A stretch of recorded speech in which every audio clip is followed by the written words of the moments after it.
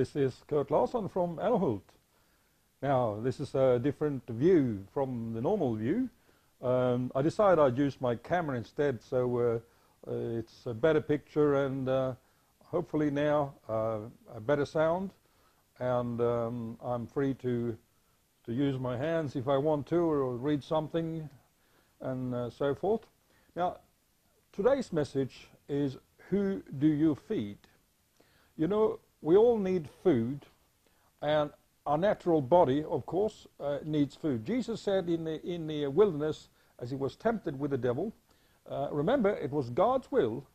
He was led by the Holy Spirit into the wilderness to be tempted by the devil, the Bible says. And one of the uh, one of the uh, temptations there was uh, when the devil said, "If thou be the Son of God, uh, pray that these stones will be become bread." And Jesus said, "Then you shall not live by bread alone, but by every word that proceedeth out of the mouth of God." That is a very, very uh, uh, important truth. Of course, Jesus he always speaks the truth. He is the way, the truth, and the life. And, you know, we need food for our natural body. But if that's all we're going to get in this world, we perish because we need to be born again by the Word. God sent His Word and heal them and deliver them from their destructions. We need the Word. We need God's Word because God's word gives us life. And but if we feed the body, uh, th there are two different ways uh, we can feed, uh, you know, the body and the soul. So if we feed the body, uh, you know, we can we have all our special uh, things we like, and so have I, and probably you as well. And uh, and then you know we we become fat or big or, or whatever if we eat a lot and some of us don't and you know I don't know what I am and maybe I'm in the middle and uh, and then also after eating a normal meal then we, some of us like sometimes a little bit of sweetness so we have a, a sweet cake or actually I have here I, I bought from uh, from Israel uh, and or other types of biscuits and cakes you know, with a bit of sweetness, and that's fine. This is good. This is all part of life. This is all part of what God wants to give us. so that's how we, how we uh, uh, feed our natural body. But, you know, once we become born again and have received the Word of God and know Jesus, because you become born again in an instant. In an instant that you receive Jesus Christ as your Lord and Savior and repented from your sin, you become born again. And once you become born again, God wants to feed you with His Word. Now you have the Word inside you, have accepted the Word, Jesus, and, and, and, and the living Word. Jesus is the, the written Word and the, and the living Word, and you have received Jesus. and then you have other desires. You have desires to read the Word of God, and, and you, you, you be so blessed and the Word of God opens up for you, and, and this becomes milk. This is milk. But reading the Word of God is milk. and uh, then as we have uh, uh, starting to read, we find, oh, well, I must do this. Not just read it, but I must do this. I, you know, forgive them who trespass against us, you know, and as we forgive others, you know. Um, so we're starting to forgive people, and, and you know, we're starting to deny ourselves a little bit, and we start walking with him.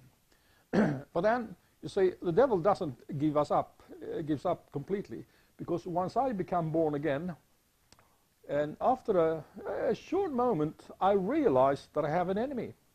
Because before I was born again, before I accepted Jesus, I, I, uh, I, I, I, didn't, uh, I wasn't aware of the devil that much, really. But when, when I accepted Jesus, I realized that the devil is my enemy. And now he doesn't give up. He comes and goes. Jesus is after the various temptations he had there in the wilderness. Uh, the, the devil left him for a season.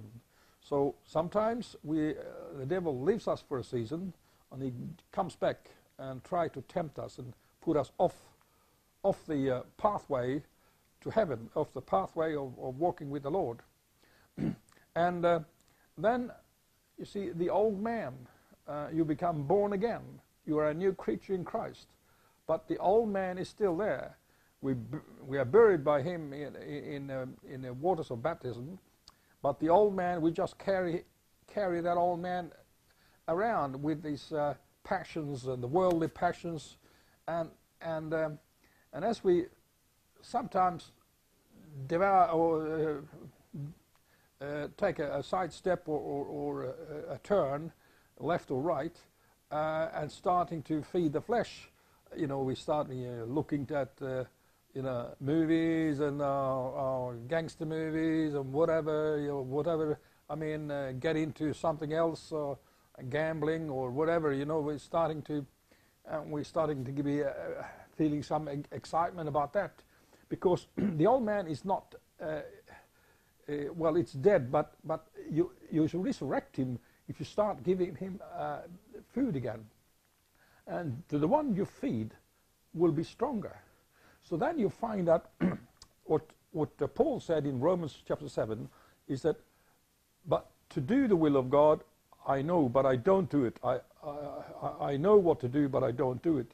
And what I, what I don't do, um, uh, I hate. I mean, I, I'm quoting it a little bit differently, but what I love, I love the Word of God, but I don't do it.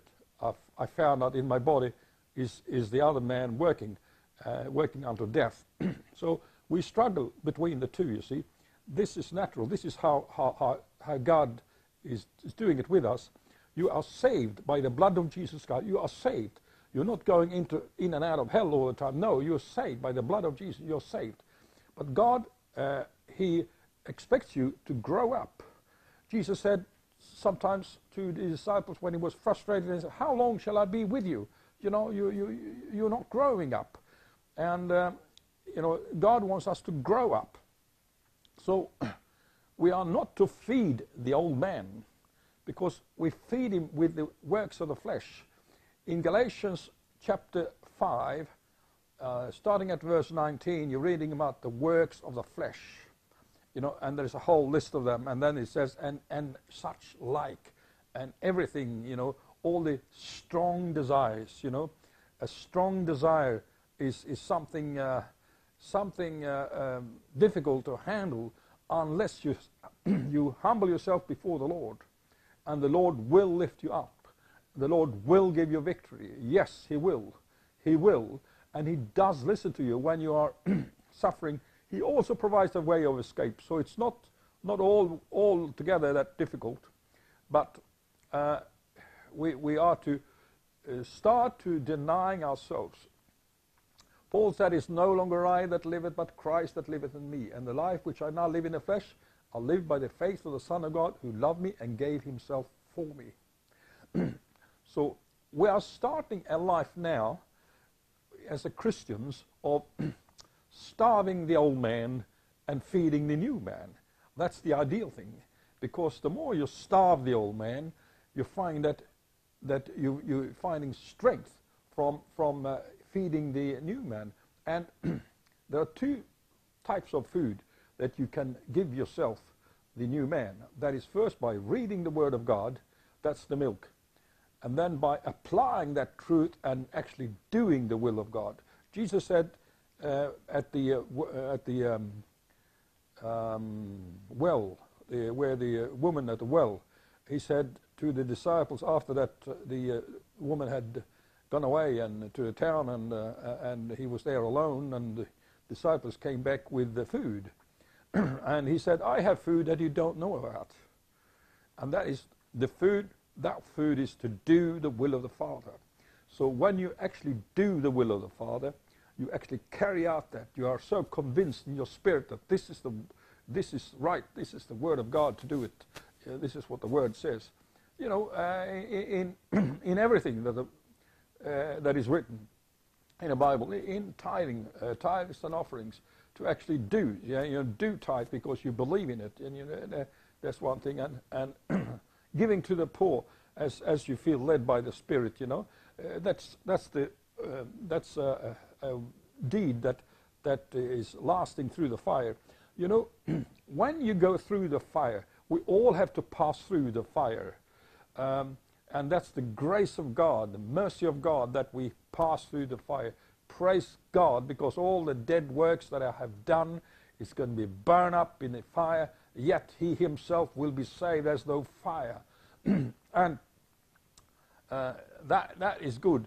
And the, our works that we do, that is works of the flesh, is like wood, stay, and humble. humble. You know, it, it, it burns up. It, it's worth absolutely nothing. That is worth nothing. No value whatsoever. But what you have done in faith, that is what you bring with you to heaven. That is your reward. And, well, in heaven you get a reward for doing uh, the, the, the works of God.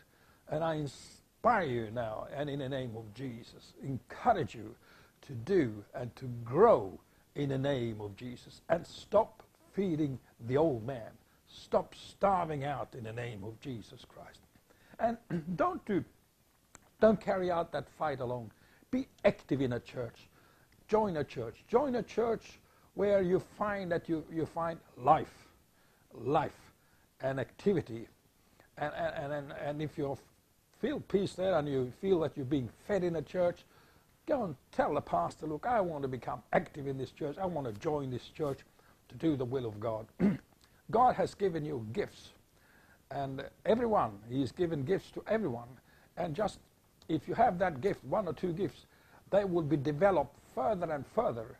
Hallelujah. And God has also given the gifts of the Holy Spirit in 1 Corinthians 12, the word of wisdom and power and discernment and all the rest of them. Uh, and He has given some of those gifts to you or and to each one of us so that when we come together, the Holy Spirit is there to work uh, you know, amongst all of us because we are like living stones, not dead stones.